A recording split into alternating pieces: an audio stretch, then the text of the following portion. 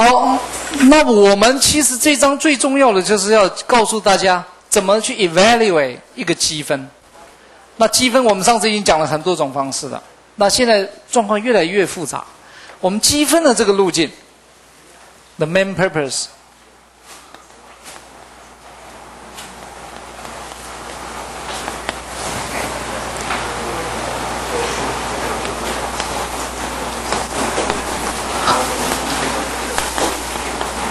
我们要积这个积分。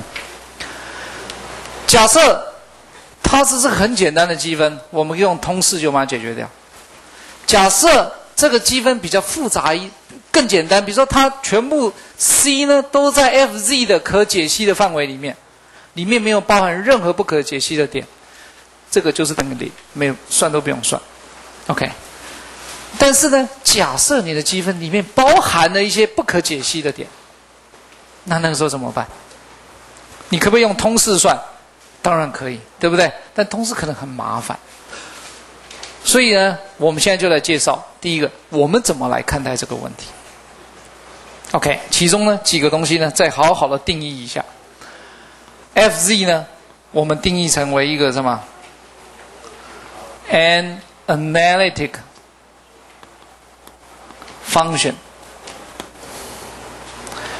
in C and on C，它在 C 的里面，积分路径的里面，积分路径上面全部都是可以解析的，except 除了一个地方，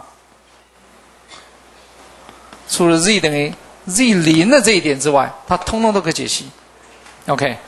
那要是这样子的话呢，我们就可以用什么 Laurent theory 呢？对它做展开来，所以这一展开呢，非常快速了，你就得到 n 等于零到无穷大，a n z 减掉 z 零的 n 次方，再加上后面的这一大串东西，对不对？后面这大串东西呢，我现在先把它写出来。第一个是 b one 除以 z 减掉 z 零，加上 b two 除以。Z 减掉 z 零的平方，一直降降降降降降加下去。OK。假设这个时候我们很快速的来看看呐，什么叫 Bn？Bn 等于什么？就是这一串嘛，对不对？所以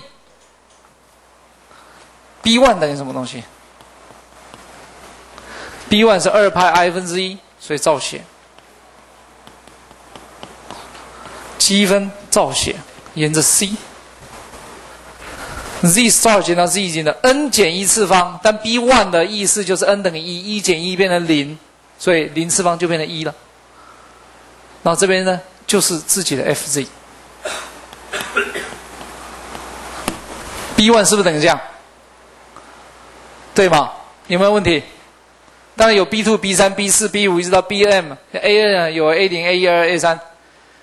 虽然说有很多，但是我们眼光只看其中的一项，B one 的这一项。为什么要看这一项？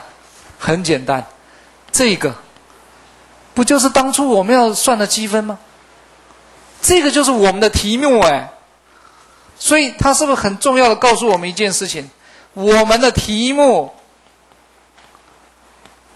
根本就是等于二排 i 乘上 B one 的数值而已啊。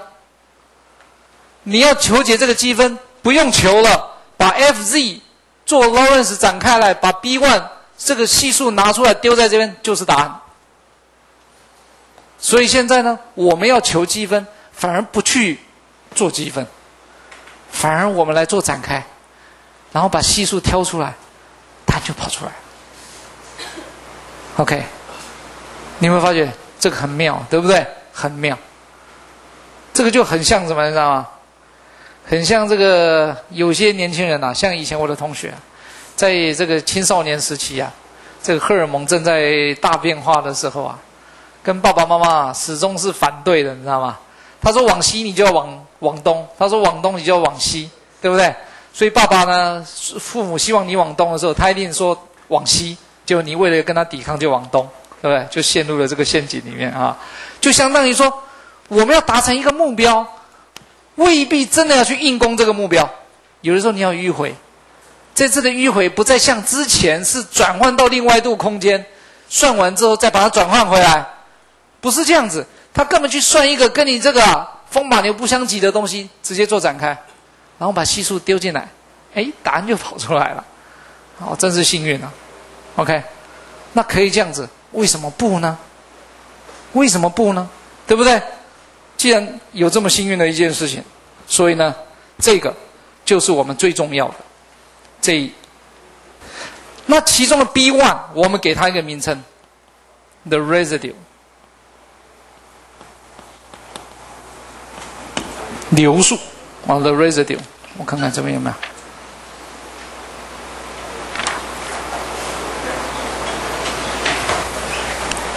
，of Fz at z 零这一点的 residue。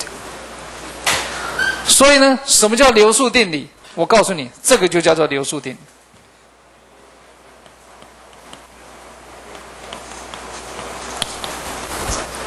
基本上就这么简单的一件事情。所以这个定理本身呢，纯粹巧合，对不对？但是巧合的很好用啊，为什么不呢？OK，为什么不呢？OK。那么其中的 B one 呢，我们就把它写成为 B one 写成成 B one，我们就把它写成一个写法，它是 Fz 的 residue，所以你就把 residue res 可以写草一点点啊，有一点艺术化的感觉。OK，下面呢，因为你是在 Z 零的这一点，把它避过去，这样子就可以了。OK，请大家记住这几个。好，现在我们来举几个例子，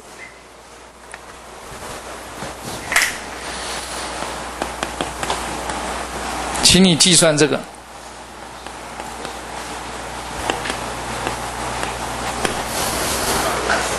好，看看这怎么计算。我们看到的时候，其实脸已经有点歪掉了，因为不晓得应该要怎么计算。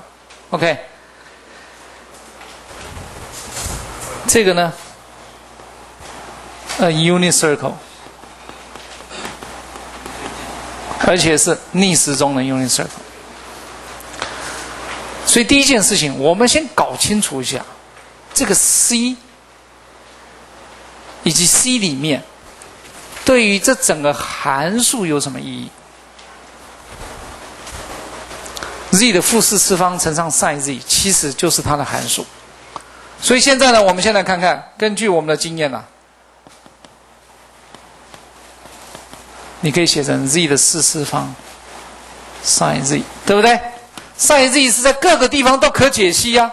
你现在不可解析的问题是谁？是 z 的负四次方的这个 z 啊，摆在这个地方，这一看就知道零的这个位置有问题。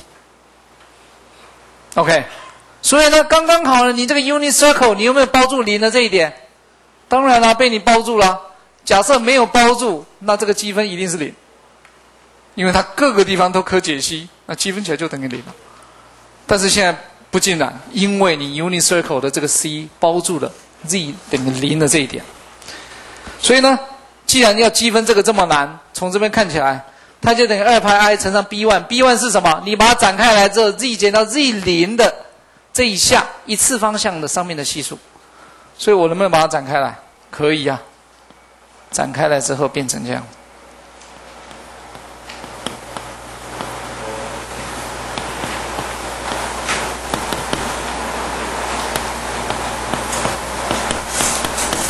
这样一直下去，那我们知道一件事情，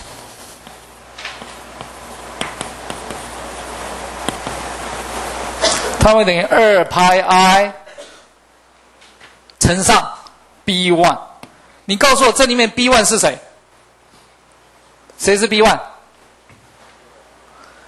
第几项的系数？哪一项的系数？一二三四，哪一项的系数是 b one？哪一项？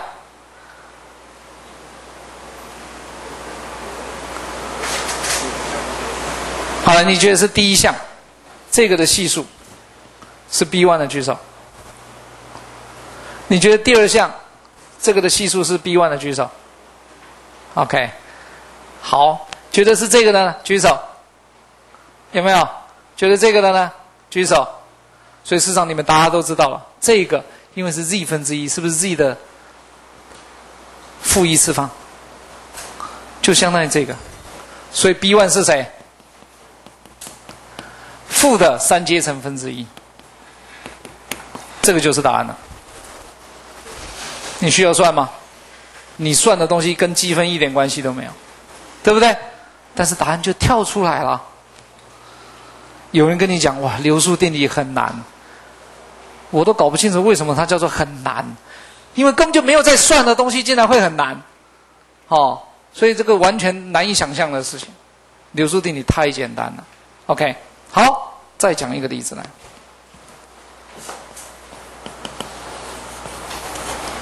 那写在右边啊。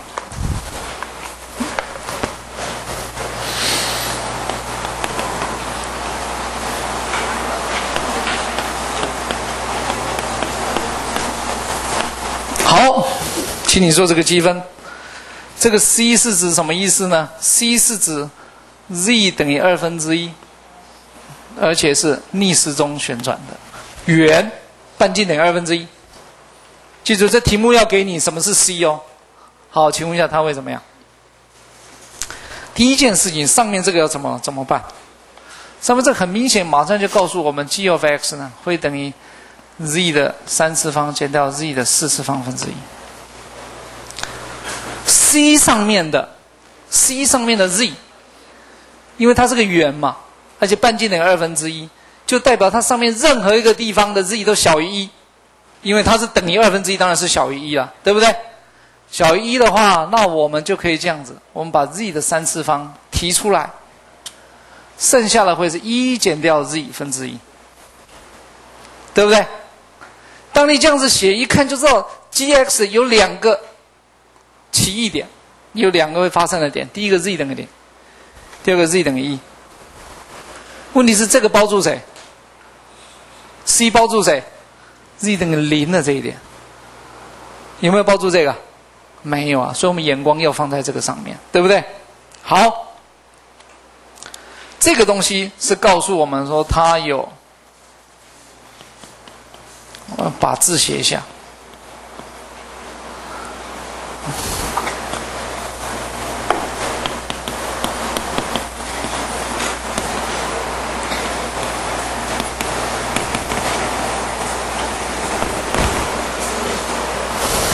因为啊，z 等于一呢，lies outside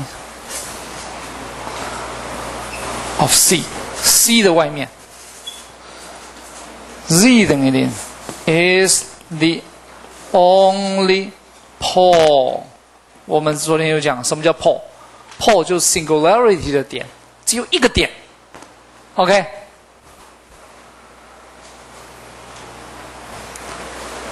那么这个时候呢，Lawrence condition 呢，我们就可以来来来做了。所以这个时候 g of x，我们要了感兴趣的是对着零展开来，OK，expand。所以呢，let's expand g of x with respect to z 等于零。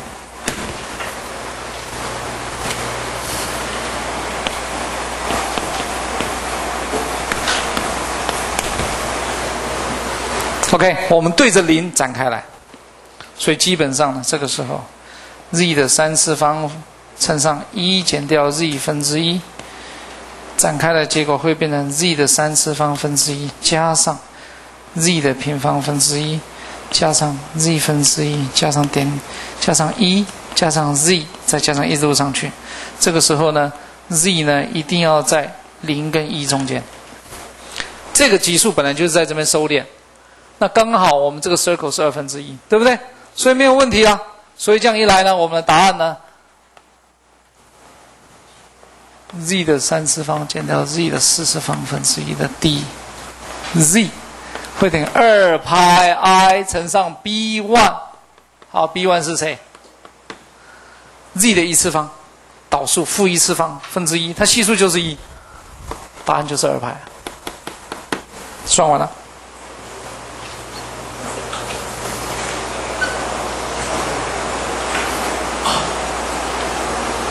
嗯，为什么我的笔记差一个负号？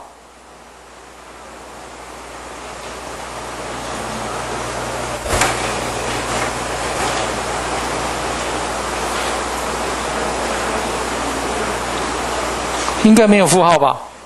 应该就是二派 i 吧？OK。好，那么现在呢？假设你每次都要做展开来，假设哪一天你不会展开怎么办？或者有没有什么更简单的办法？因为展开每一项都要做完了，你要是能够直接就知道这一项等于什么，不就不就解决了吗？你还管其他项干嘛？对不对？记不记得你们在学量子那理论力学的时候，你们学 Lagrange 的时候，为什么要学 Lagrange？你们学到 Lagrange 了嘛？结束了嘛？对不对？为什么要做 Lagrange？你知道吗？为什么不用牛顿力学就好？牛顿力学不是可以把所有的问题全部都解决吗？管你阿猫阿狗了，不管你要或不要，通通都解决了。偏偏有些时候我们不需要什么都知道啊，我只要你告诉我我想知道的讯息就好。啊，我相信你要是跟你的同学聊天啊，一定有人这样。你问他一件事情，哎，那个音数课上次上什么啊？他就开始跟你讲哦，那天老师做了什么事情了？同学又怎么样？又买了什么便当哦？他没有交代完，他还没有讲到你想要听的内容，对不对？他要先讲三个钟头之后呢，才会进入到你想要听的内容，都快昏倒了啊！那 Lagrange 做什么事情？他就进入另外一个空间去看另外一件保守的现象，他只能够得到部分的讯息，但是呢，很凑巧是这部分的讯息呢是很重要的讯息，这样就好了，对不对？在我们这个所有里面，最重要就是这一项。我管前面是什么，后面是什么，我只要能够把这一项的系数求出来，就求出来了嘛，对不对？我能不能有简单的方法来做？当然有了。OK，所以呢，我们现在就来跟大家讲，你怎么来求得。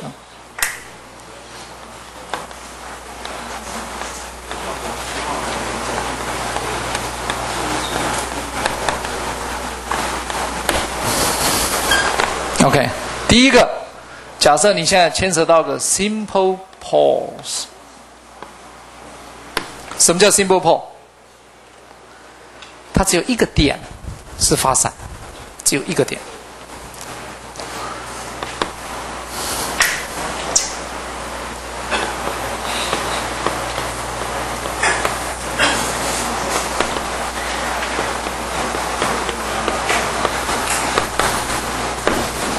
假设它在 z 零的这一点发散，那么第一件事情，residue f z 的 residue 怎么写？我们知道它是 b one，它会等于什么？它会等于 z 减掉 z 零的 f z，然后呢，limit z 趋近于 z 零。真的这么简单吗？我们看看这个例子。假设我求 b one，那我知道它的 pole 是 z 等于零，所以我把 g x 乘上 z 等于零，z 减到 z 零就是 z，对不对？之后呢，limit z 趋近于零，我看看这个算起来会会等于什么？limit z 趋近于零，z 乘上这个。那这个会这一乘上来会变成 z 的平方分之一乘上一减掉 z 分之一，哇，这样子等于零的结果，它一样是发散，对不对？不行，为什么不行？你知道吗？原因很简单，因为这个 z 等于零呢，它是三次方，它不是个 simple pole，simple pole 只有一个 z 分之一。OK，所以呢，假设它只有单独一个，那就好办了。OK，好，我们来看看 example，我把这边擦掉，直接左边就是 example。哇，十二点了是吧？快下课了哈。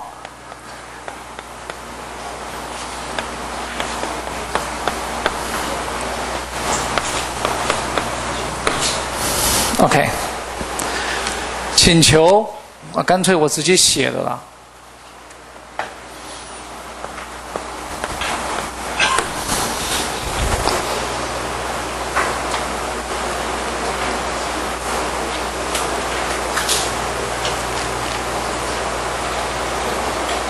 其中，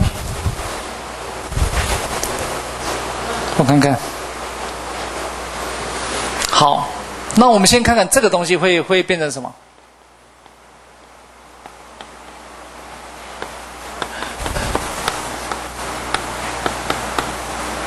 所以你分母可以把 z 提出来嘛，对不对？所以你会有 z 分之一，上面是九 z 分之一，所以这边 z 平方加一。九 z 加上 i，更进一步，你就变成九 z 加上 i 呢？下面会有 z 乘上 z 加 i，z 减 i。你发觉它有几个 pole？有三个 pole。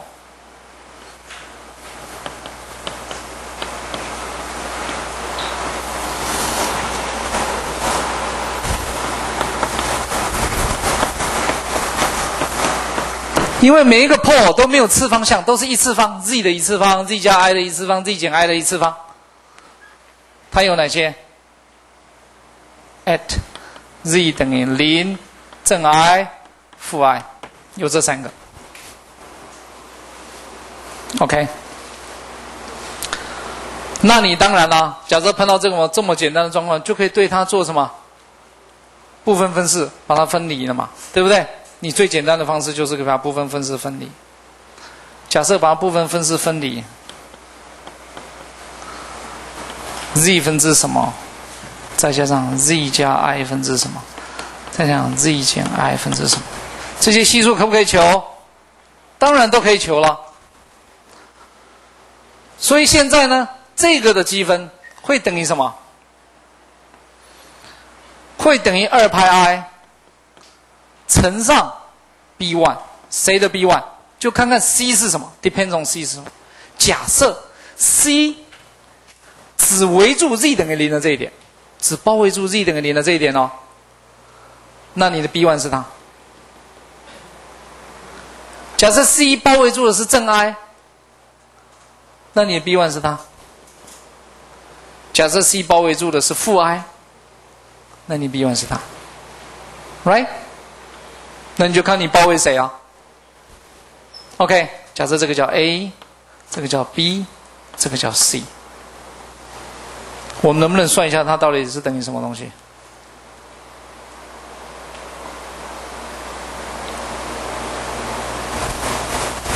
等于什么东西？反正上面都一样嘛，因为这下面是可以分开来的，我看看。要不要算一下？好，我们算一下好了，快速计算一下。好，我们在左边这边，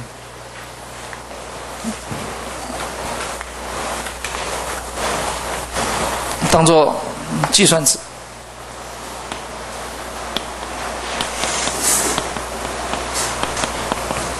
所以呢，a 会乘上 z 平方加一。B 会乘上 z 乘上 z 减 i，c 会乘上 z 乘上 z 加 i，所以分母都一样。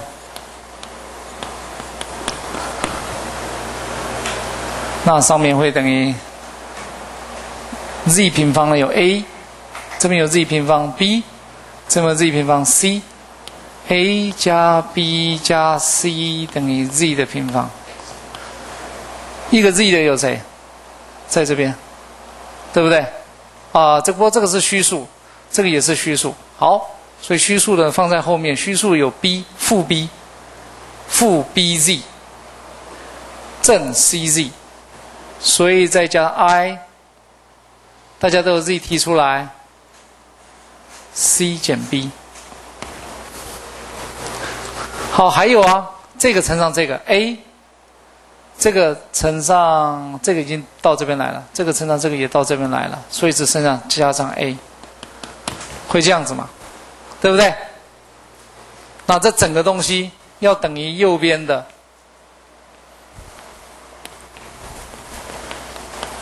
九 z 加 i，所以。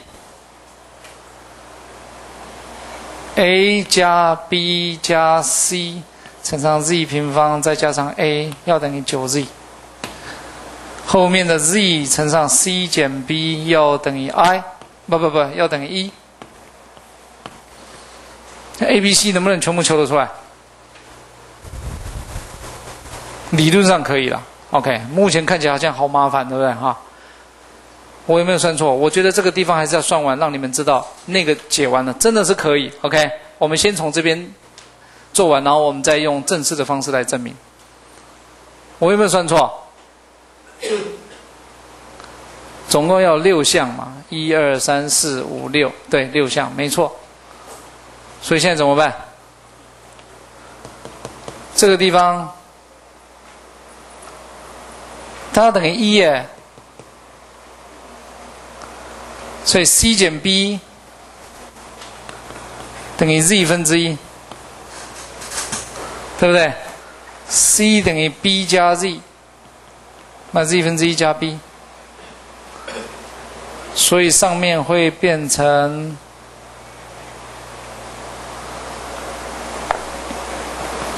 a 加 b 再加 c 就是 z 分之一，再加上 b 变成两倍的 b。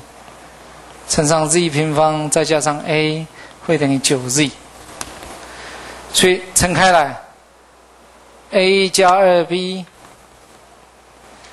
的 z 平方再加上 z 再加上 a 要等于九 z，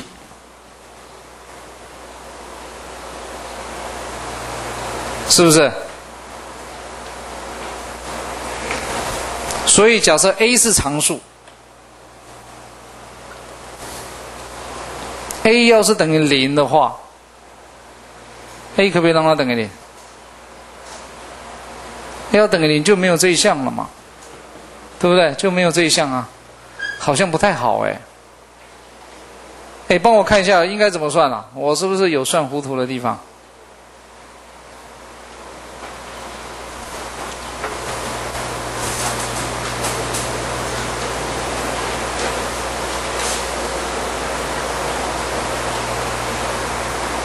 没错啊，我应该没有算错啊，对不对？好，那这个要怎么办？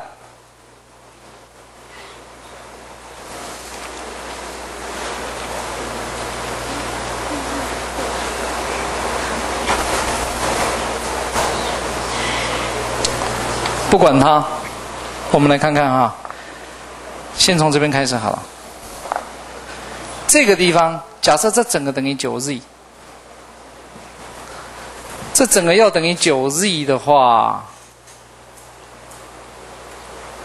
所以就代表 a 再加上二 b 再加上 z 分之一要等于九 z 平方除过去 z 分之一，然后 a 让它等于零，可以吗？我们可不可以这样子？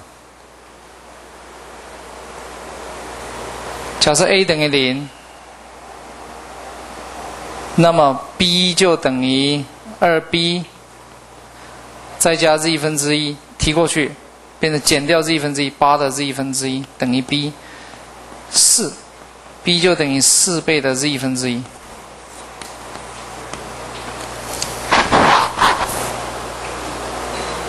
那这样不行啊，这样不行啊，因为我们希望上面都是跟这边都是系数嘛，对不对？所以我一定有什么地方分的不够好。所以可见这样子做起来很麻烦呢，不晓得应该怎么办呢？好，我们先试试看，用他这个方法做起来怎么样？好不好？我们先试试看，然后我们待会儿采用一般的式子来证明它。我们先试试看，假设按照他的做法，我们现在是要管它 circle 圈住哪一个？我们现在要圈住哪一个？各位要他圈住哪一个？If C enclosed says z 等于零好了，only。所以这个时候怎么样？b one 是不是等于 limit z 趋近于零？z f z，所以相当于这个乘上 limit z 趋近于零，z 一乘上来，剩下是九 z 加上 i 除以 z 平方加一，limit 趋近于零零零变成一个 i，b one 就等于 i，b one 等于 i 了，答案是什么？二派 i 乘上 b one 呢？就变成负的二派，所以它 i 要等于二派耶。假设 z 等于零，理论上这个要这个要等于 i 耶。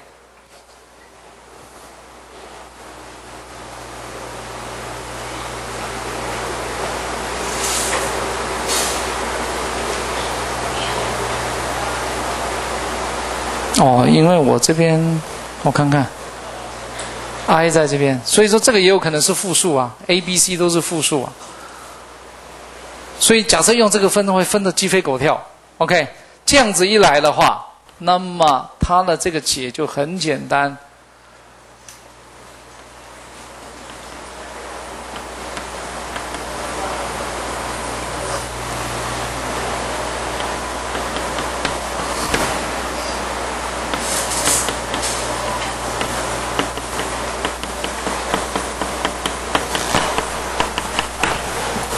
答案马上就可以算出来。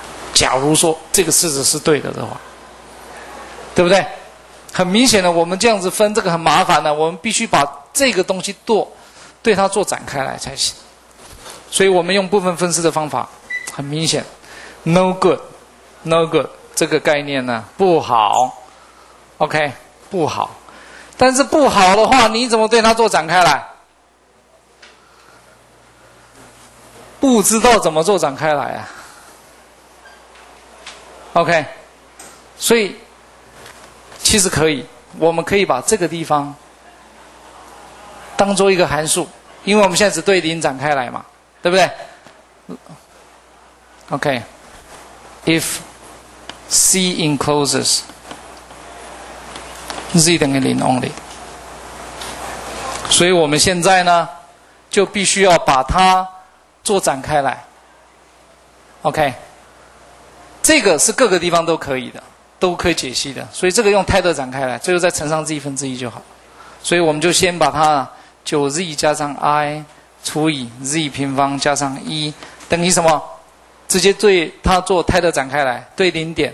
所以第一个呢，就把零带进去，这边得到 i。第二个，第二个呢是一除以一阶乘，它的微分。对 z 微分，所以它的微分会变成 z 平方加上一的平方，对不对？它不动微它，z 平方加上一乘上九，减掉它不动，九 z 加上 i，微后面二 z，所以呢，再把 z 代成零，这一代成零，它就没了。这一代成零，这边是九，这一代成零，这边一，所以是答案是九乘上 z。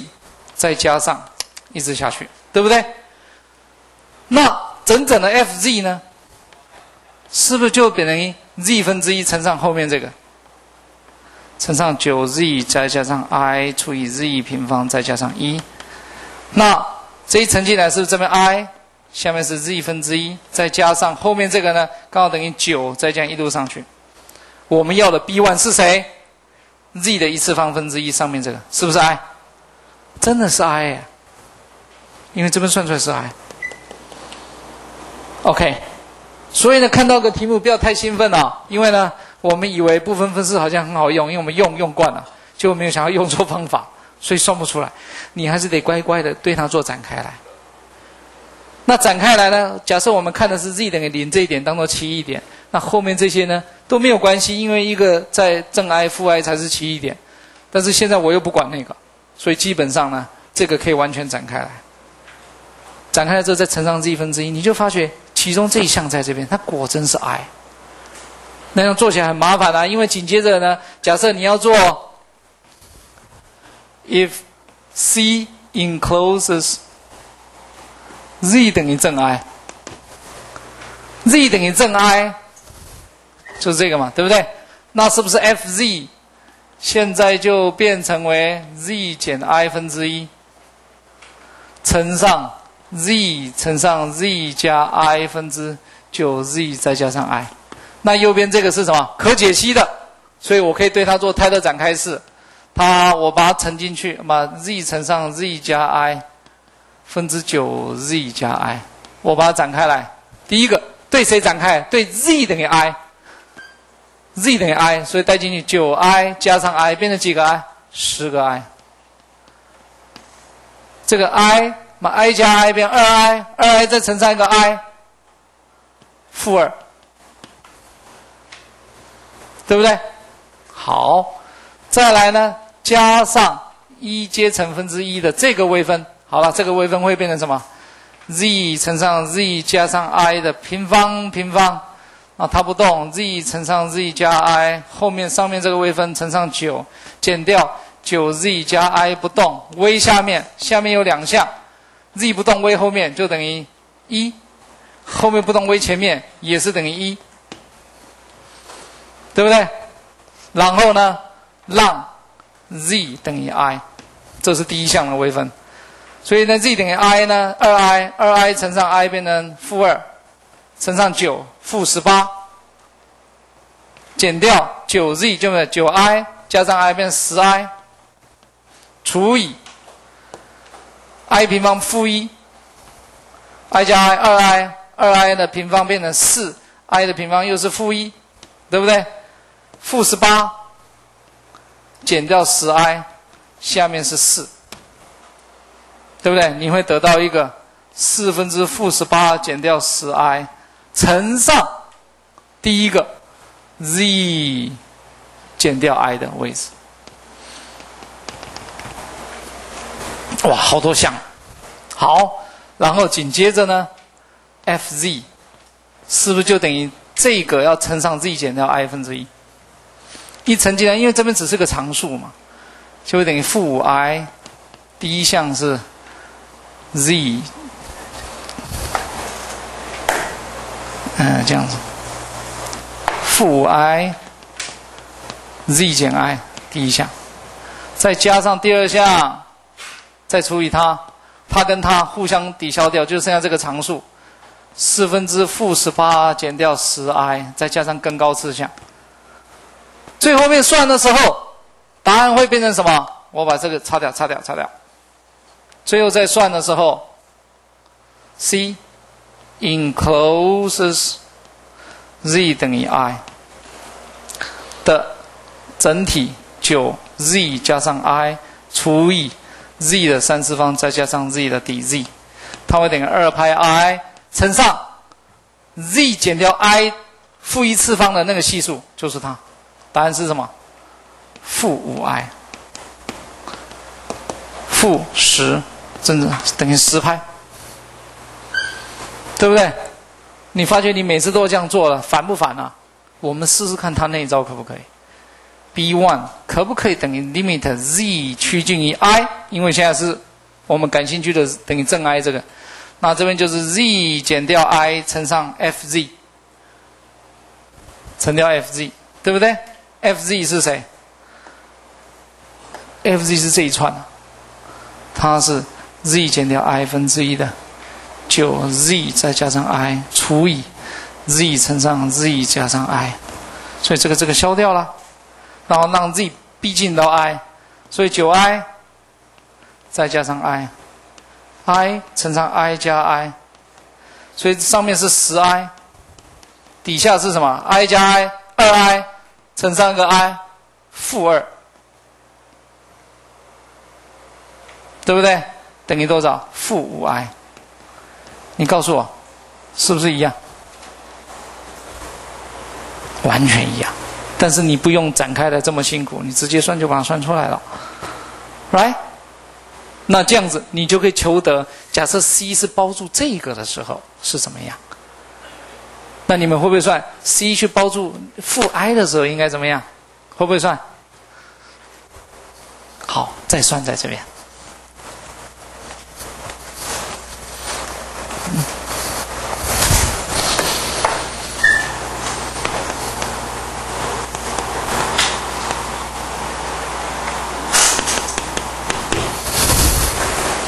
那这时候怎么办？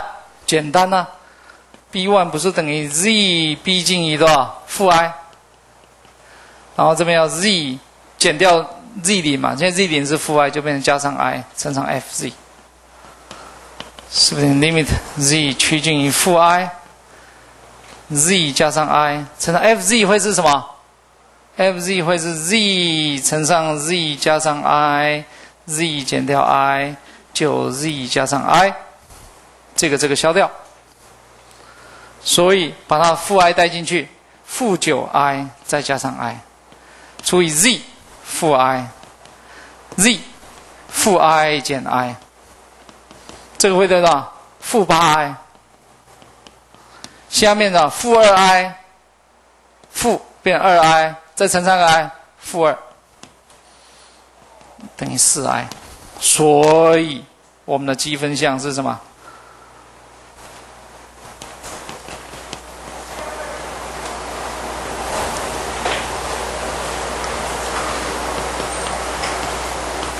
会等于二派 i 乘上四 i，答案会等于负的八派。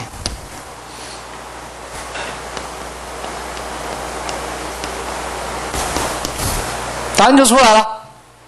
不信，你再来展开来一次。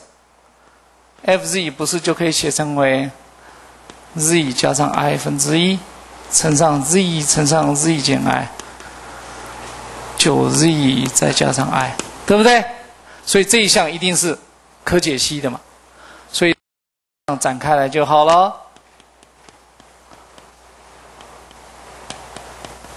要等于什么东西？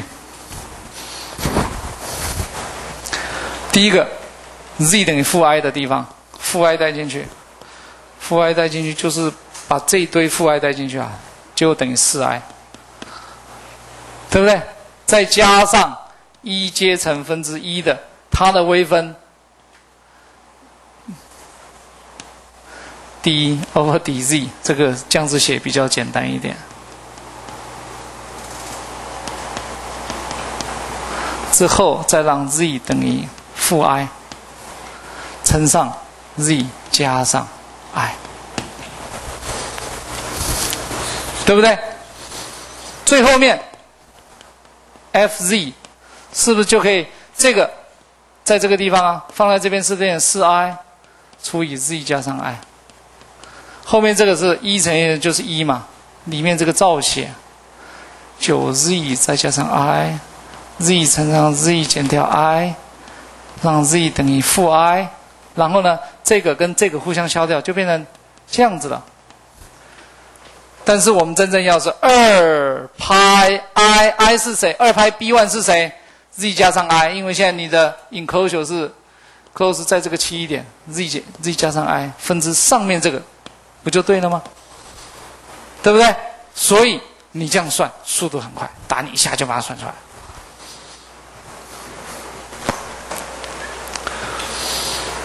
记住，这是 simple p o 这个有没有问题？但是不只是这个样子哎，有些时候，even 你这个乘上它，然后 limit 不是很好算，那有没有什么办法呢？他告诉你另外一个算法：residue z b 进到 z 零的 f z 就是 b one。可以写成什么？residue z 等于 z 零 p z 除以 q z 会等于 p 的 z 零除以 q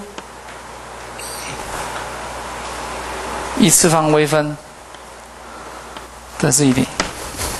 if f z 啊。可以写成 Pz 除以 Qz 的这种形式，and Pz 呢不可以等于零。假设呢，我们感兴趣在 Fz 呢，可以写出这种形式，上面是 Pz，下面是 Qz，可以写成这种分开来的，而且上面 Pz 不不准等于零。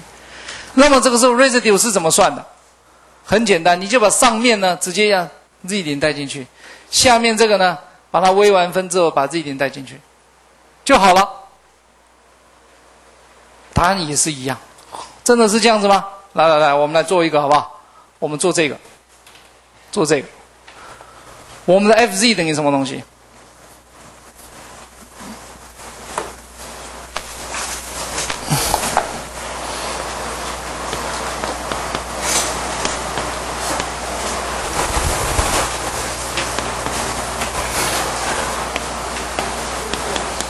对不对？